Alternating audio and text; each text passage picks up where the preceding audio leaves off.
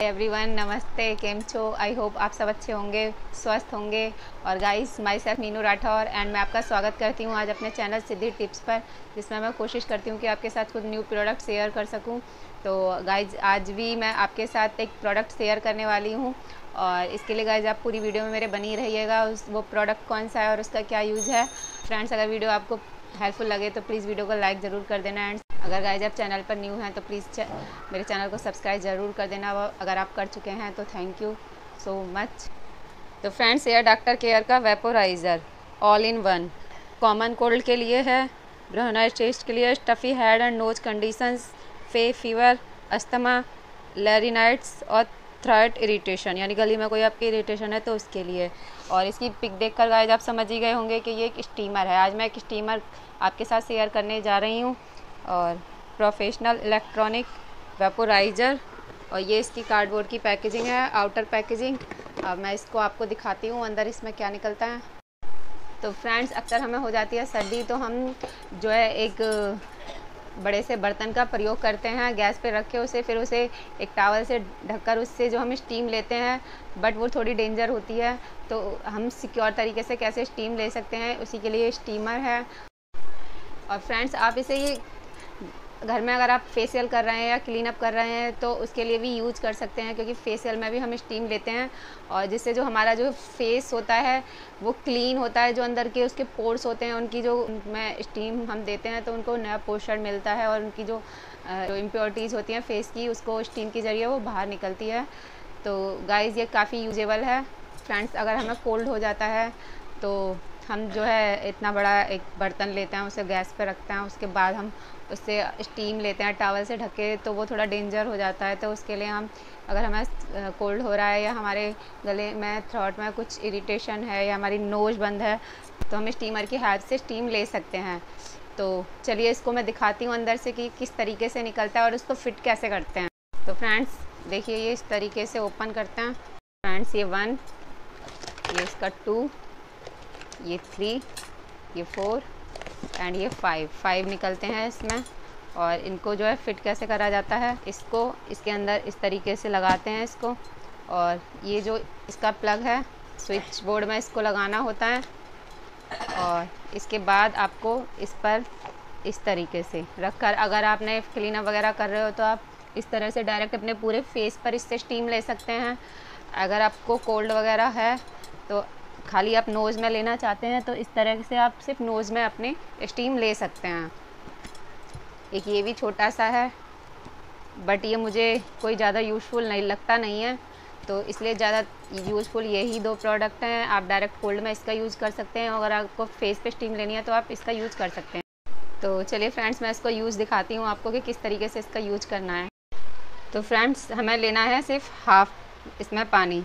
क्योंकि अगर पानी जब खोलने लगता है तो वो फिर बाहर आने लगेगा तो इससे सेफ़ है कि आप हाफ़ तक से पानी से फुल करें और इसके बाद आपको इस तरह से इसका, आपको डायरेक्ट फेस पे अगर फेस क्लीनअप के लिए या फेशियल के लिए लेना है भाप तो आप इसे डायरेक्ट नॉर्मल पानी से और इस तरह से स्विच लगाकर और ये थोड़ी देर में ये जो वाटर है, ये उबलने लगेगा और भाप इसमें से बाहर आने लगेगी।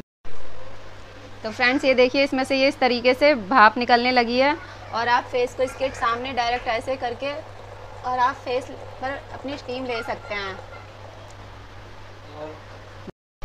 तो फ्रेंड्स स्टीम लेते टाइम आपको थोड़ा केयरफुल रहना है। आपको ज़्यादा इसके फेस के अंदर भी अपना फेस इसके अंदर ज़्यादा डीप भी नहीं डालना है क्योंकि एकदम से भाप निकलती है। तो आपको अपनी आइज़ क्लोज करनी होती है तो थोड़ा बैलेंस दूर से ही आप बना के रखें तो बेटर है। फ्रेंड्स ये तो थी पहली ट्रिक इसकी। अब ये सेकेंड इसका है।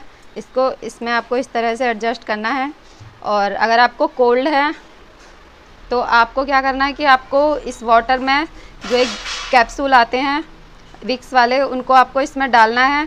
और उसके बाद वो, इसके साथ जब भाप बनेगी तो वो कन्वर्ट हो जाएगा। और आप, आपकी नोज़ अगर बंद है या गले में इरिटेशन है तो वो उसके लिए बेटर रहता है। तो फ्रेंड्स ये देखिए, ये इस तरीके से इसकी भाप निकलने लगी है। और आपको इसके तरह से दूर से ही नोज़ में इसके अपनी भाप लेनी है। है ना? थोड़ा दूर रखना है आपको फेस ताकि ज़्यादा भी आपको इस तरह से लेनी है। और गाइज़ अगर आप चाहें तो आप जो नॉर्मल विक्स होती है, उसको भी इस पानी में डालकर उसकी भी भाप आप ले सकते हैं। और ये जब बंद कर देते हैं तो ये धीरे धीरे इसमें से फिर ये भाप ख़त्म होने लगती है। और आपको क्या करना है फ्रेंड्स इसके पानी को आप बाद में फेंक के और फिर से इसको, इसके बॉक्स में कवर करके आप आसानी से रख सकते हैं, सेफ़ रहेगा ये इससे। तो फ्रेंड्स, ये जो स्टीमर है, मैंने ऑनलाइन परचेज़ किया है। और अगर आपको भी अच्छा लगा हो, हेल्पफुल लगा हो तो मैं इसका जो लिंक है, वो डिस्क्रिप्शन बॉक्स में दे दूँगी। फ्रेंड्स, मुझे ये प्रोडक्ट काफ़ी हेल्पफुल लगता है।